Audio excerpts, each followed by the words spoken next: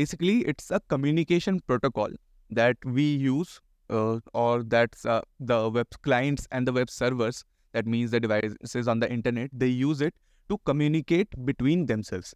And it's a stand communication standard in the world wide web www http is a communication standard right? That all the web applications that work on the internet they work on they used to work on http and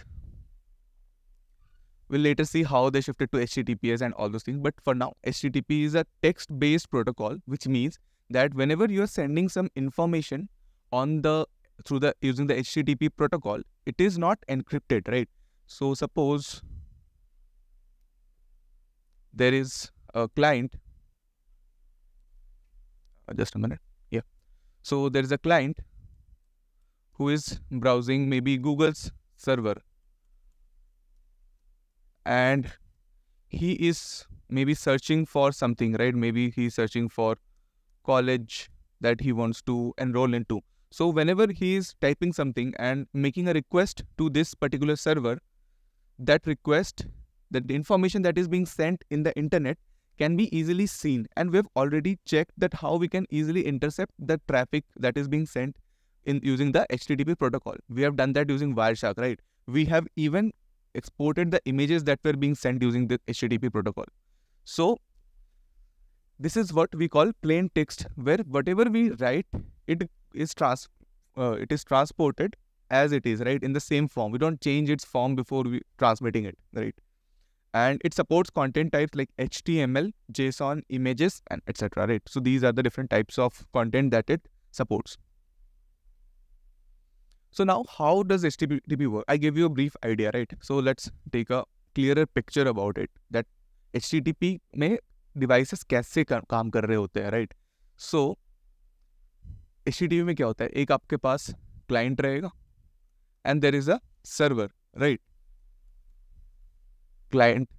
One server S one so इसमें क्या होगा a two way communication right so client क्या करेगा सबसे पहले एक request भेजेगा server को that hello I need this kind of resource maybe he is trying to load the website of Google dot com right so ये क्या बोलेगा? सी वन एस वन को बोलेगा कि show me the website of W W W dot Google dot com Google के server पे जाएगा and वो जो H T M L content है उस वेबसाइट का, वो कंटेंट वापस आ जाएगा as a response from the server back to the client and client के पास जो ब्राउज़र है, ब्राउज़र में फिर उसको फॉर्मेट करके अच्छे तरीके से, जैसे हम गूगल के वेबसाइट को देखते हैं we can check it out there right तो यहाँ पे क्या होगा बैक एंड फोर्थ कम्युनिकेशन हो सकता है क्लाइंट एंड सर्वर के बीच में नॉट दैट कि एक ही तरीके से कम्युनिकेट हो रहा है क्लाइंट कुछ भेजेगा, फिर server will send something right then the initiating request clients initiate the request जैसे मैंने बोला ना क्लाइंट पहले रिक्वेस्ट करेगा based on that request the server will send a response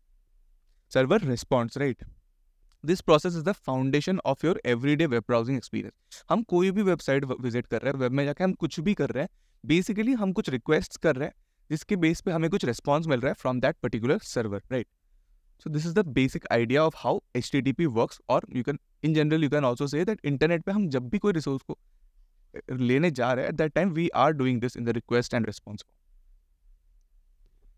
so this is just to give you a picture view or like to draw what I just said, कि ये मेरा client है, इसने H T request भेजा server को through the world wide app web and H T response आया client के पास वापस right this is the idea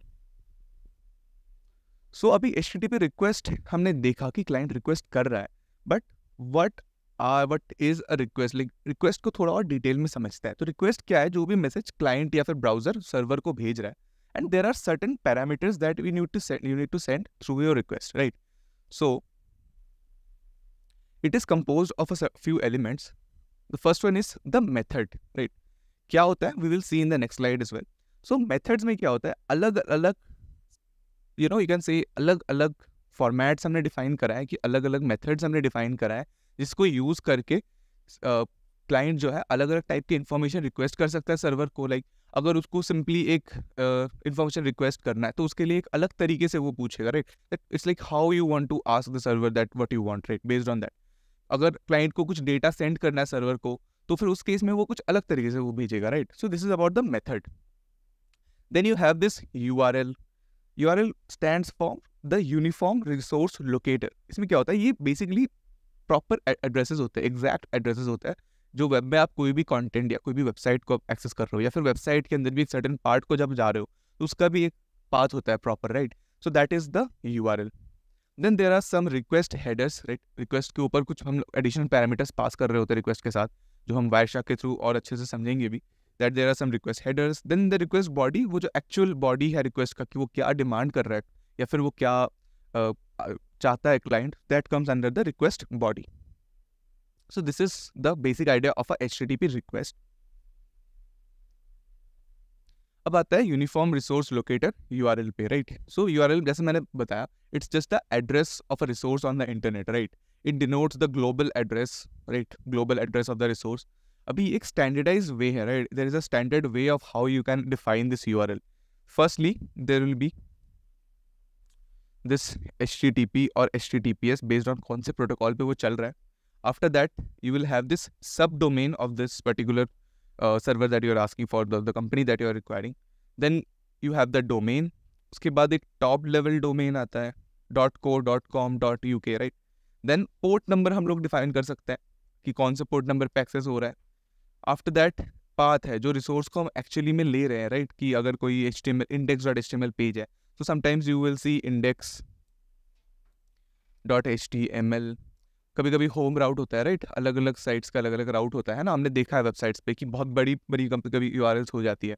तो उसमें जब हम पैरामीटर्स ऐसे question mark and then you write the variable name after equal to आप वैल्यू देते हो। और अगर आपको सेकेंड पैरामीटर ऐड करना है तो आप एंड लगा के फिर ऐड करते रहते हो।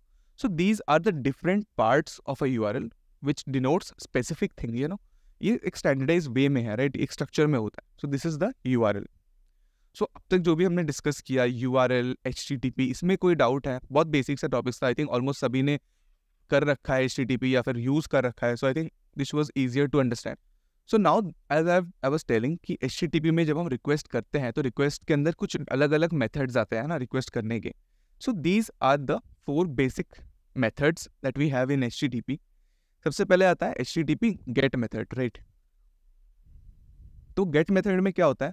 गेट मेथड को हम तब यूज़ कर रहे होते हैं जब हमें कोई रिसोर्स लेना होता है या फिर कुछ हम रिक्वेस्ट कर रहे हैं सर्वर को कि हमें एक वेबसाइट को अगर लोड करवाना है राइट? उस केस में हम हमें बस रिक्वेस्ट चाहिए सर्वर से हमें कुछ पास नहीं करना सर्वर के पास। So in that case we use the get method after that we have this post method जिसको हम यूज़ कर रहे होते हैं जब हम कुछ पैरामीटर पास कर रहे होते हैं सर्वर के एंड पे राइट? हमें कुछ मे uh, बी हम जो फॉर्म्स सबमिट कर रहे होते हैं right? Log in sign up के फॉर्म्स वगैरह होते हैं तो उस केस में हम लोग पोस्ट मेथड यूज़ करते हैं।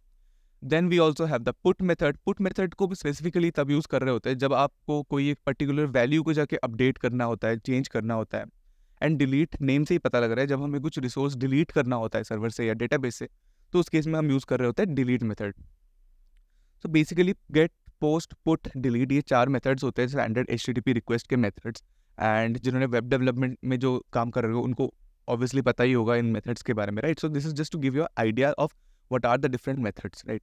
So now let's check out how HTTP looks when we open it using Wireshark, right?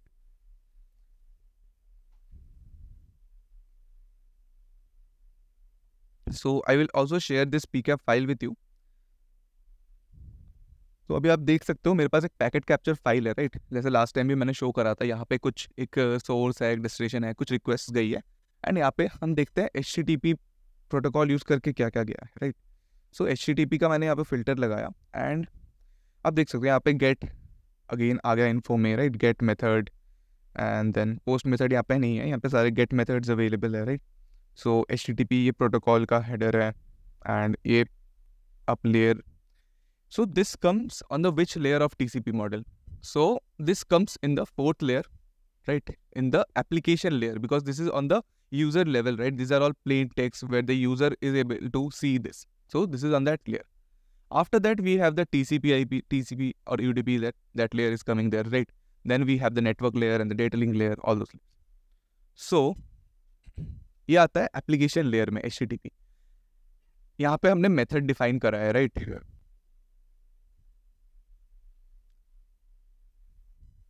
then you can see there are some different different parameters that are being passed, that what kind of uh, response it is accepting, what kind of data it is going to accept. कुछ encoding नहीं है यहाँ पे। Application का language है जो language में वो डेटा एक्सेप्ट कर रहा है right and what is the modified it's modified it's not modified since this date and there are some more details that we can see in the Wireshark so the point is यहाँ पे हम देख सकते हैं कि क्या content भेजा है यूज़र ने राइट सो so, इसको कैसे देख सकते हैं हम? कोई भी आप एक रिक्वेस्ट पे जाके सबसे पहले तो आप सिंपली यहाँ से देख सकते हो। Just a minute. आप यहाँ से देख सकते हो uh, उतना ज़्यादा रीडेबल नहीं है यहाँ पे। So let's just use our T C P stream reconstruction right because from there we can do it so T C P stream reconstruct अगर हमने किया है okay we are in the wrong stream या so so, देखो अब इस stream में आके ना हमें पूरा रिस्पॉन्स रिक्वेस्ट जो भी है तो this part is the request that was send from the client to the server and then यहाँ पे आके हम देख सकते हैं कि सर्वर ने क्या रिस्पॉन्ड किया। पहले तो सर्वर क्या सर्वर है हमें वो डिटेल मिल रहा है। पाइथन सर्वर है। इस डेट पे वो रिस्पॉन्स आया था। Content and type content type बस टेक्स्ट और H T T M L content का लेंथ हमें मिल रहा है। लास्ट कब मॉडिफाई हुआ था, वो सारा डिटेल तो मिल ही गया। उसके बाद जो भी डेटा भेजा, ये डेटा वो है जो सर्वर ने भेजा क्लाइंट को राइट एच का कोड था जो सर्वर ने क्लाइंट को भेजा। एंड ब्राउज़र ने फिर उसको ब्यूटीफुली शो किया हमें इस फॉर्म देखते हैं। तो the point is since it is a plain text protocol हमने जैसे लिखा, हमने जो भी इन्फॉर्मेशन भेजा, वो एज इट इज़ सेंड हो रहा था, जो बीच में जो नेटवर्क था उसमें। तो जैसे मैंने इस ट्रैफ़िक को इंटरसेप्ट किया, एक टिकट पैकेट कैप्चर फ़ाइल पे उसको डाला एंड मैं इसको एनालिसिस कर सकता हूँ, या फिर इसमें हम कुछ और भी कर सकते हैं, राइट? तो ऐसे कोई और भी कर सकता है, राइट? दैट्स द पॉइंट कि यहाँ पे डेटा जो हमारा है, वो सेफ़ नहीं है। मान लो आप अपने क्रेडिट कार्ड इन्फॉर्मेशन सेंड कर रहे हो किसी सर्वर को ओवर द एचटीटीपी प्रोटोकॉल तो क्या होगा? कोई अगर इंटरसेप्ट करता है तो फिर वो सारी चीज़ें उस इंसान को ईजिली दिख जाएगा। जो भी बीच में इंटरसेप्ट कर रहा होगा, उसको ईजिली दिख जाएगा। So this was the problem with H right that it is a plain text protocol so there is no encryption or security of the data while we are transporting it.